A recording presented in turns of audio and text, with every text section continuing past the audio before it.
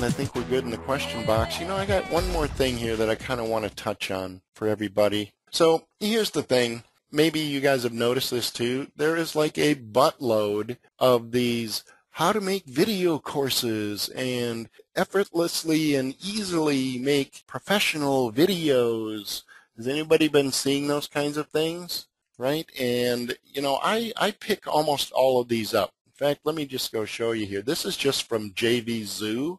My job, as far as I can tell, and one of the things that hopefully all of you find to be of value is that I buy like all of this crap and I look at it and I pick out ideas because I'm a professional video producer and I want to make sure that I'm not missing anything that I could be learning from somebody and periodically in the mix I find some really good stuff. Well, the really good stuff is few and far between, especially when you start looking at things like Warrior Special Offers and these JVZoo products that people put together just kind of willy-nilly, right? So I usually pick the best and I will, again, find ideas and things that I can figure out and show you all how to do.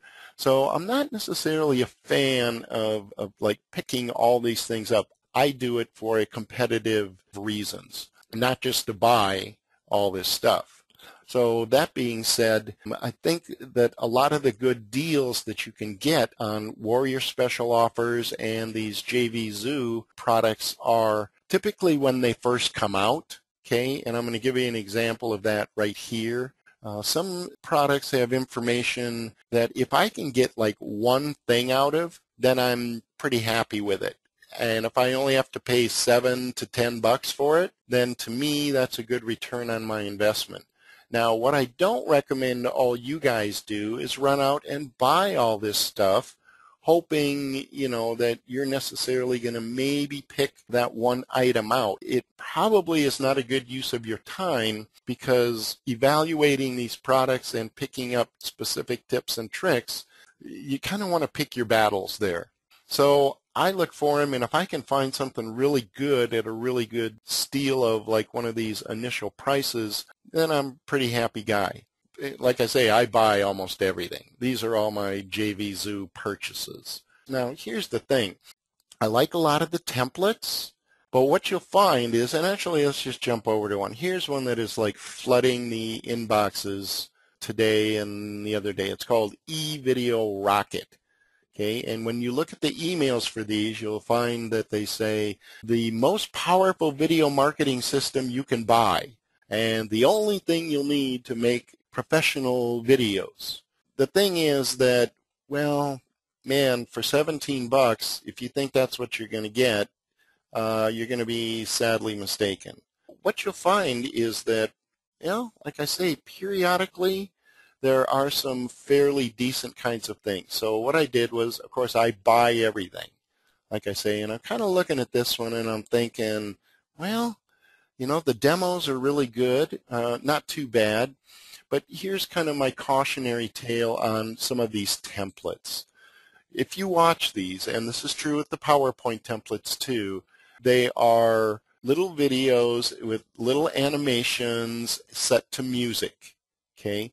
If you think you are going to make effective sales videos by pulling up these templates and modifying them and then just spitting them out with nothing but music and stuff in the background, then I would love to hear about it and see just how much money you're making doing that. It's it's just not an effective message. It's not an effective sales message. It's another reason why, and I'm kind of going off on a rant here, but it's another reason I don't care for Animoto videos.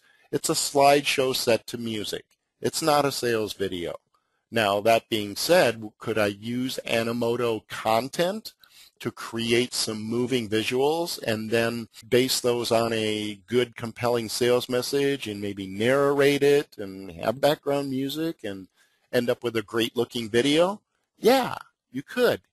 There are ways to use these, but my point is that it's often not right out of the box.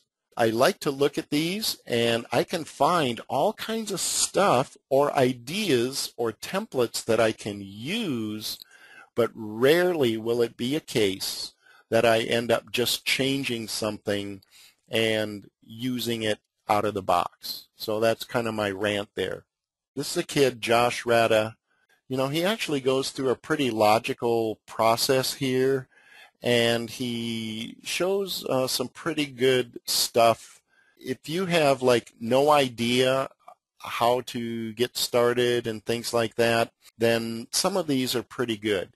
Let me just jump down here. For $17, there are templates and things in here that I can use, right? In fact, there's kind of a cool um, Camtasia one that you can import into Camtasia and have this like iPad it's like a alpha transparent video, and he actually has a nice demo and stuff here. For 17 bucks, just that one element alone would probably be worth it for me. Now, here's the thing: is they'll, you know, it's going to automatically go to $47 and then $97. Yeah, that's just not going to work. but sometimes you can kind of catch these uh, pretty pretty reasonably. Let me just jump into the member area here. And I also want to show you um, a mistake. For those of you who are creating your own video courses, I'm going to let this roll for just a second, and I want you to try to pick out what not to do when you're creating your tutorials, right? Let's let it roll. Okay, it's going to start rolling. It's thinking about rolling. Come on, roll. Oh, here we go. Now it's really going to, it's going to do this now in just a second. Come on, baby. Oh, that is cool. That is such a cool intro. All right. It's about a 10 or 15 second intro. And what is it? It's the old Hollywood trailer thing. Do not use these at the beginnings of your tutorial videos. Can anyone tell me why? Um, there's a specific reason. Doug's kind of on it. There you go. Lawrence is all over it. Too much download time. Okay? What's the experience you want to hand your viewer when they're trying to consume your content? This stuttering and buffering of a video that's trying to load, it's just ridiculous. Okay, don't do that.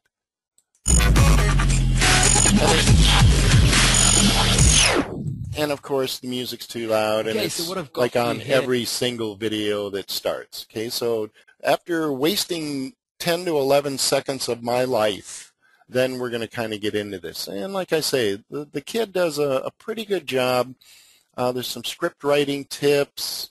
Uh, he has what he calls a template. This is pretty worthless, but what I do kind of like are some of the other tips on PowerPoint.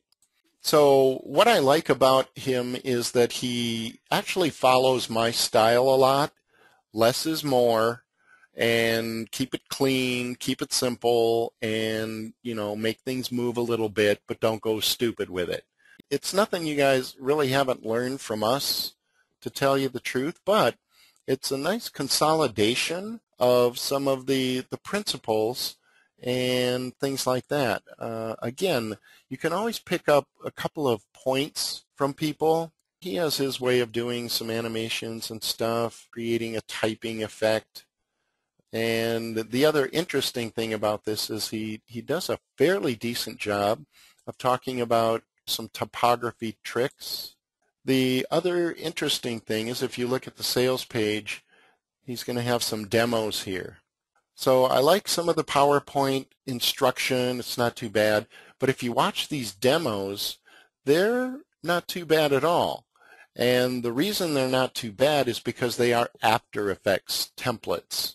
Now, we've all talked about how to get these modified without buying or using After Effects. So if you think about it, you know, I'm not even sure how many it has. Let's go to the resources tab here. So it has all of these, but you, you get the After Effects files for one, two, three, four. These are some lower third animations that, of course, we know we can use in Camtasia once they're modified and produced out of After Effects. So you get like four, I don't know, pretty darn decent After Effects templates that you could have modified on Fiverr and a bunch of audio tracks and, you know, stuff like that. Uh, and like I say, there's a couple of versions that you can download and load into Camtasia. It's not bad for 15 bucks. I wouldn't pay any more than that for sure. But I'll go ahead and put a link in here. It's one of those, yeah, I wouldn't pay any more than probably 17 bucks for it, but just for the, the gears, you know, the gizmos, the stuff, the elements, probably a pretty worthwhile deal. Any questions? Would you have to have AE templates converted to MOV? asks Susan. Uh, MOV works or MP4s. Either of those will work. Marshall says, is there an upsell? You know, I think there are a couple of upsells. Uh, so here's the front end, which is 17 bucks. Uh, then there's an upsell for done for you, whatever that means. I didn't actually go through that process. Uh, now, this might be actually kind of interesting. If you are creating videos for others to resell, then looks like they have a resale rights options too. Uh, so that might be pretty interesting. Especially if you get pretty good at cranking out or, you know, po posting these on Fiverr, getting modified.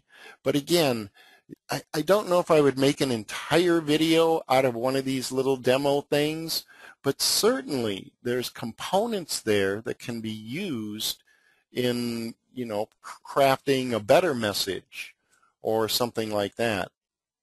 I'm not seeing anything else come in. Thanks everybody for kind of hanging out with me. We'll see y'all later. Everybody have a good evening. Bye-bye.